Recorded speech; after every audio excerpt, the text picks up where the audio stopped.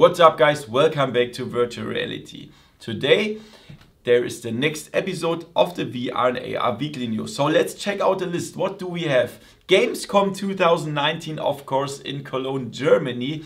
I will report about um, some VR games I tried there. Then we have um, VR special sales on Steam. Uh, news to uh, Oculus Connect 6, Westworld Awakening, an add-on for Vanishing Realms, Insomniac Games news.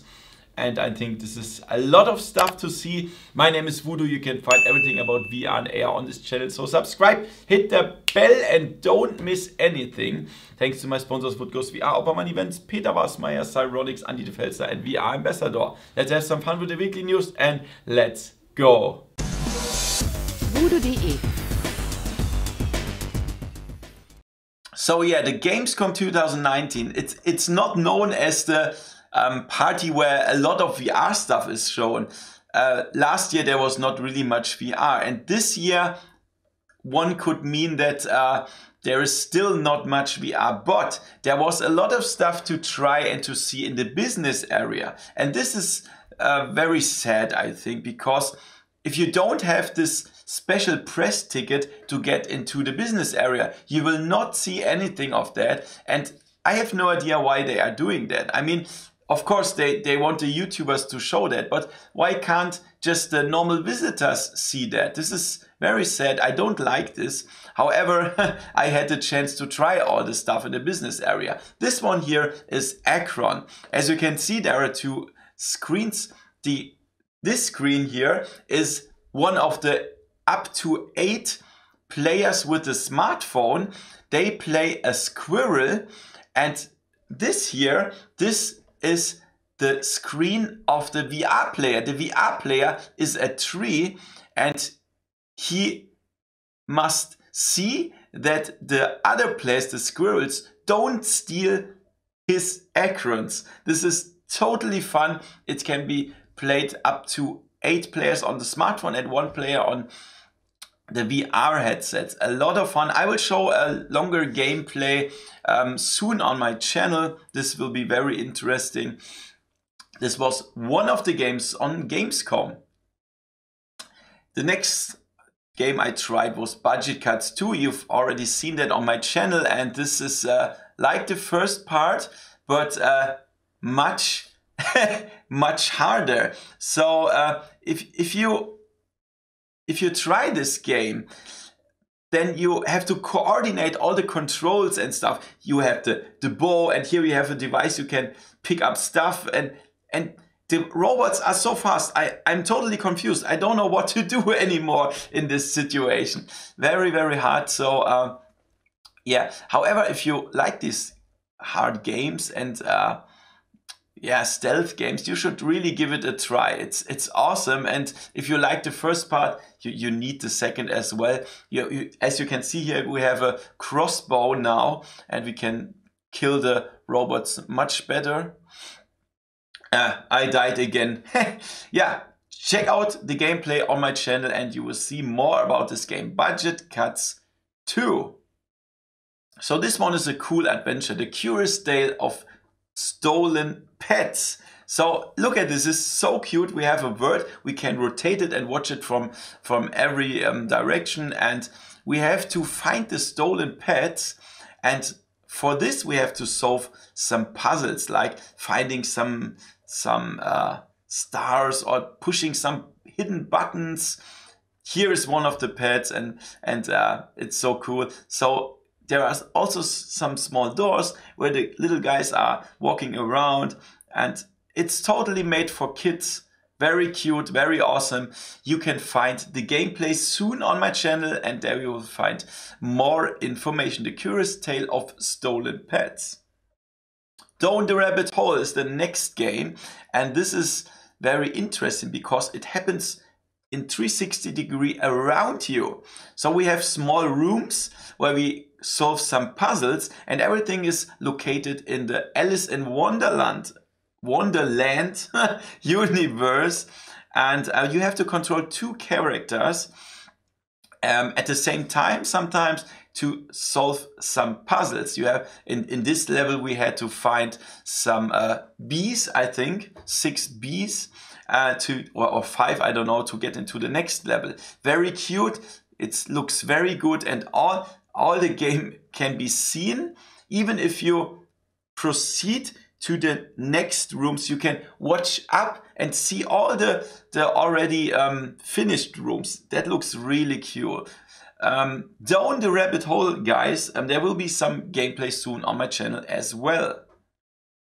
Journey for Elysium, guys. This is the next game I tried, and this is a VR adventure with a story about a family, and we have to see some memories. We have to find stuff. We we have to interact with the story, and this looks really cool. It's the, the level I tried was like a black and white and um, some objects are with color like this rose here and we have to pick up stuff and finish the memories. It's it's very interesting and i will show you the gameplay in this way. I had to to film the monitor or the, the tv there was no other way but you will find this on my channel soon as well the Wizard's Dark Times is the next game I tried at Gamescom, and this is a standalone add-on for the Wizards and it's totally immersive controls.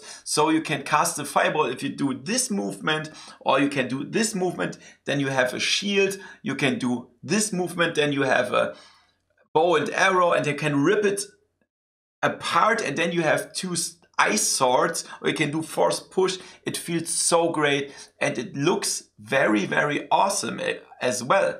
So um, we have to see how long the game is i don't know but this is the recorded gameplay so i uh, will show you more information about this game on my channel soon the wizards dark times.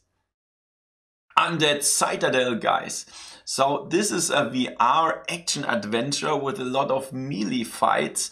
I uh, tried it on the Oculus Rift with the 3D Rudder and um, this is really interesting because the, the enemies look very uh, nice. So that there are skeletons hunting you and you, you have to hit them um, not like, like this, you have to really hit it in the right way. You have to block stuff. And also the weapons can break. So if you always hit the enemy's weapon, if the enemies block your hits, then your weapon will break and you have to find a new one. Also, also you have to find potions and stuff and it looks really really great this is what i recorded in the in the the gameplay that is upcoming on my channel. I will zoom this, of course, so you can see it better, but there was no other way um, uh, instead of filming the monitor. So you can see the picture is, is a little bit blue, but this is how it actually looks. It's like a, a it's a fantasy environment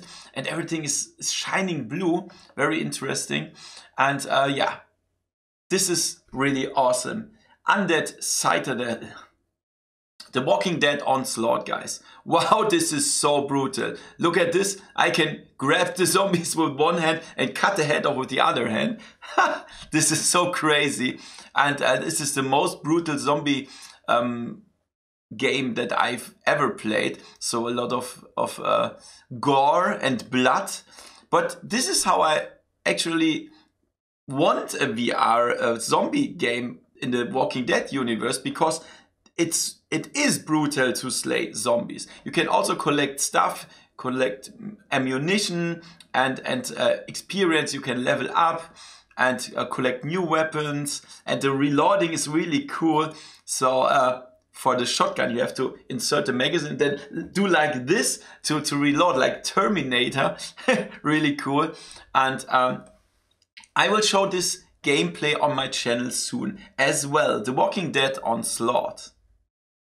Then I tried Iron Man VR on the PlayStation VR and that was very impressive because you have 360 degree tracking. I did never see that on the PlayStation VR before. So if you turn around, there is no error message that you that you left your tracking area. It works and as you can see here and they they work with uh, gyro sensors. So of course the the um, move controllers are not tracked anymore, but it works with the gyro sensors. So um, you can really fly around like Iron Man and use the thruster and use your fists and it's so cool. It's really cool. And uh, I played the demo. It was around 20 minutes and I had a lot of fun with it. I will show it on the channel as soon as it's available. At Vertigo Games, I had the chance to try the uh, upcoming DLC, The Damned of Arizona Sunshine, and also After the Fall. So for Arizona Sunshine DLC, it's very good quality. It's, it's the same good quality like Arizona Sunshine. We have a pretty long um, DLC. I think it's longer than the last one, and um, it's very good quality, but this is the same gameplay as we already know it from Arizona Sunshine, but in another another environment, another levels and stuff, some new tasks. And then I played After the Fall, as you can see here. I played it to, uh, with two people, and you can play it up to four players, and it it feels like Arizona Sunshine, but with a little bit of Left 4 Dead um, part. So you can collect resources, you can go to a workbench, and you can craft um, like um, additions to your weapon and like uh, you have a normal pistol and after you put some stuff on on on this weapon you have uh, lightning shots and stuff really cool and it was also very brutal and it looks very good it's it's in a i think it's in los angeles and it's in an ice world in a, in a nuclear winter or, or how, however you call that and um, I, I'm really looking forward to that. The graphics were totally awesome. Unfortunately, it was not allowed to capture gameplay, so I cannot show this to you. And this is very sad because uh, I, I, could really show you that because it's awesome. I don't know why they why they uh, do, don't allow that, but I'm totally looking forward to play this game and I will show it on the channel after the fall and Arizona Sunshine, the damn DLC. So yeah, that was Gamescom 2019, guys. And I, to be honest, I was positive about this because um, as you perhaps know, I'm playing a lot of Steam VR games, also the crappy games. And on Steam VR, uh, there's a lot of crap, a lot of shit games. And all the games that I tried on Gamescom were good quality. I never expected that. It's really good. And um, I think this is, it, it's sad that it's only available in the business area, but in the entertainment area, Sony had this very cool Iron Man VR booth that was that was impressive. So there was a little bit VR in the entertainment area as well. Also, Oculus had a booth there at HTC. and yeah, the most part was in the business area. It was cool. I was really um, impressed by the by the quality of the games, and I will show you more gameplays very soon. Um, problem is sometimes I had to record the monitor. Sometimes I couldn't uh, implement my own comments because of the environment. It was so low, loud and stuff. We will see. However, I can show you some cool gameplays on the channel um, soon. That was Gamescom 2019. Next year I will also be at Gamescom as well because I really love this and it's very close to my location. Yeah. The Steam VR weekly sale is online I, I didn't know that. Perhaps you already know it, but um, if you go on this page here, store.steampowered.com uh, slash sales slash, slash VR underscore specials, then you can find uh, some um, sales here every week and you can go here to all VR specials and here you see all the, the um, sales. For example, you can uh, buy Dirt Rally 2 for the half of the price and also Onward. There are a lot of cool games, so just check this page out every week, you can perhaps find some very cool sales here on Steam. So perhaps you've been wondering what Oculus will announce on the upcoming Oculus Connect 6. So for me, the Oculus Connect exhibitions are the, the most important VR um, parties or exhibitions, how you ever call it, uh, ever. So last year at the OC5, Oculus um, announced the Oculus Quest. I've been there in, in San Jose and it was really, really awesome. This is a very cool party and um, it's very important as well. And for now, you could um, say that there is nothing more important because Oculus says the first generation is done with the with the Go, with the Rift S, and with the Quest. But Jason Rubin told us here in his tweet, we've got lots of big announcements coming. So this is very interesting. What does he mean with that? So obviously there there's no new VR headset. Perhaps they will show something about the half dome. I don't I don't know, but I think there will be a lot of new games um, that will be announced. Also, I know that there will be a lot of augmented reality by Oculus. However, we will see. I'm really, really looking forward to the Oculus Connect 6 in the middle of September 2019. Westworld Awakening was suddenly released by Survios and HBO Warner Brothers.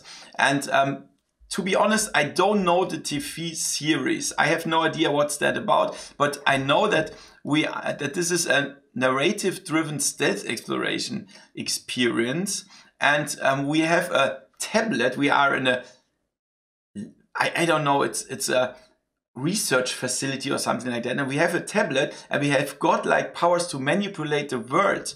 Very interesting. I got a key of this game, and I will show it to you on my channel very soon. One of the best VR games ever, Vanishing Realms, has a DLC now, the Sundered Rift. So to be honest, I didn't expect that this is uh, that you have to pay for that because at the same time the original game Vanishing Realms went out of early access. So I thought that if you already own the, the game that you will get the third and fourth chapter for free. But obviously this is not the case. You have to pay for that 12.49 or for now it's on sale for 9.99. However, guys, this is one of the best VR games ever. It's under my top 10 and um, I lost all my save games, so I had to play to the beginning of chapter 3 from from the start so uh, but I will show it soon on my channel and I'm really looking forward to that Vanishing Realms the Sundered Rift I was a little bit surprised that Sony acquires Insomniac Games. This is interesting. I never expected that. I think all, Oculus also didn't expect that. And um, it means that the all the upcoming games will perhaps be PlayStation VR exclusive this could really be the case because you know Sony is doing exclusive games. However, you know that Insomniac Games is currently producing Stormland and they already signed all the contracts with Oculus. So I don't think that Stormland will not come to the Oculus platform anymore. It will come. The question is, will it come to the PlayStation VR now? This is a good question. But I think if they already signed an exclusive contract with Oculus, it's not allowed to release it on PlayStation VR, even if the company belongs to Sony now. Very interesting. So, what do you think about this deal? Is that good or is that bad? I really want to know it. Write it in the comments below. At the end, I want to tell you something about my project. I will have a new studio soon. You know that in this um, apartment where I'm currently now. This will be much bigger. I will have more space. I will have an unboxing area, talk area and stuff. And this is uh, progressing very good. I Everything is clear now. There's not something standing around. So um, yeah, I have to paint the walls, I have to rip off the carpet and do some new stuff there. And this is a lot of work. It will last for many weeks until this is ready but I can continue you, uh, doing my videos because in this room I can still record stuff without being disturbed by any works so for now, for this week, thanks to my new sponsors, Andreas, Dara, Batman and me, Thomas and Ovid. Thank you so much for your support. And as you can see, we reached the first goal. We have 1000 bucks per month and that means that I can afford with this money, I can um, afford the rent of the apartment Very, very cool. So thank you so much. The second goal, I changed the second goal. So the second goal is now 3000 bucks per month. And that means if we reach this, every costs are covered. So as you know, I'm traveling a lot. I'm going to United States so often. It's so expensive. And um, also the, the VR headsets I buy. I think like I, um, 95 of the VR headsets I own, I bought myself. And you know, this is ultra expensive. All the uh, all the recording equipment like camera, PCs and stuff, it's brutal um, expensive. And for this, I need like a 3000 per month to cover all this. For now, I have to invest my own money that I earn from my normal job as an IT administrator that I'm working on eight hours per day. And after this, I'm doing the YouTube stuff. But for now, I have to invest most of my personally earned money from the other job to my YouTube stuff. And this sucks a little bit. It's very expensive. So the next goal is this one. The last goal will be 5,000 bucks. And then I can do a really cool VR test environment. That means I will have a very a, a big hall, something like that, and I will have a lot of different PC configurations um, that I can um, try some stuff with. For example, a low NPCs, mid NPCs and high NPCs with all the different headsets and uh, also equipment to do perfect reviews like um, um, constellations I can record through the lens with uh, with holder and stuff that I can put on on on desks and everything will be at the same direction and I can do very professional reviews then, but this is a long way to go, guys, of course, and it will be also very expensive. So, however, um, first it was my goal to um, do this YouTube stuff um, full time and then I would quit my normal job or do my normal job half time. But this idea I will not follow anymore. This is too risky. This the, the risk is too high for me. So um, I will not do that because in the last three years I could manage to do my normal job and also my YouTube job at the same time and I will just continue that. This is better for you and for me because there is no risk for me anymore and this is very very good and this rises the chance that I can do this channel and my VR work forever. This is good for you and for me, I think. What do you think about this? Write it in the comments below. However, thank you for watching and see you next time in virtual reality, guys. See ya! Voodoo.de